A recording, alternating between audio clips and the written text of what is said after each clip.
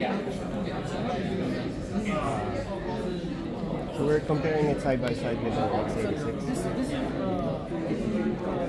So for example, we select the oh it's doing a we select the person or the object that we want to track.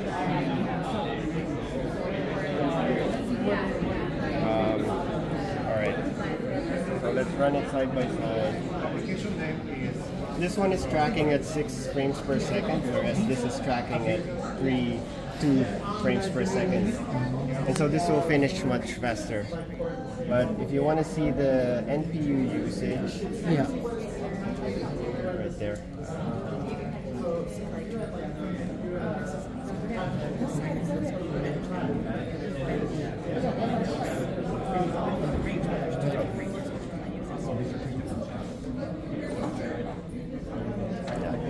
So is this the optimized version, the native uh, DaVinci Resolve version already? Uh, no, that's coming in the 2024. So this is just the regular version that's available This is now? emulated, yeah. Uh, Emulated, on okay. x86, but it still performs pretty good. Okay. Uh, but this particular workflow here, Magic Mask, is optimized for uh, using the NPU.